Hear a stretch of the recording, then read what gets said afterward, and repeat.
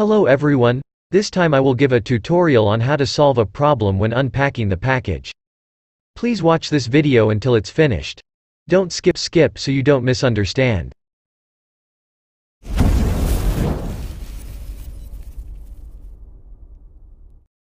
The first step, you open the APK Editor Pro application.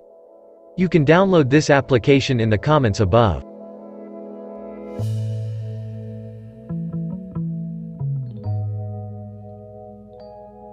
You look for the application file that you want to fix the problem.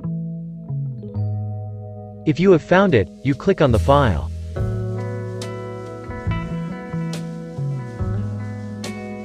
You change this part to 15.